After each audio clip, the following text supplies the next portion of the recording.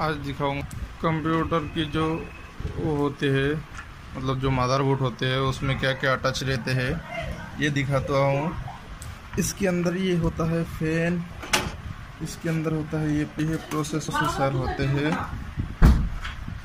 ये प्रोसेस ये होता है रैम ये होता है हार्ड डिस्क इसको निकल नहीं सकता इधर पेचकश लगा हुआ है, इधर भी पेच लगा हुआ है, इसलिए नहीं निकल सकता। ये है मदरबोर्ड तो पुराना वाला वो उसका है, ये असूस का दिख रहा है असूस ये है पावर सप्लाई जो मेन लाइन यहाँ से पास होते हैं। फिर इस पर आते हैं, पूरा सप्लाई इधर से होते हैं मदरबोर्ड में जाता है, इधर।